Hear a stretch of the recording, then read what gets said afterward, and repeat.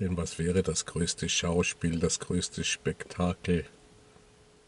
wenn es nicht Augen gäbe,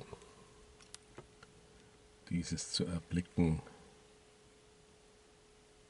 und mit bewundert, bewundernd aufgerissenen Augen und Mündern Laute der Erstauntheit, der Überwältigtheit,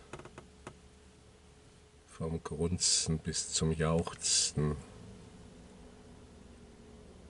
vom Klatschen bis zum Pfeifen darüber abzugeben.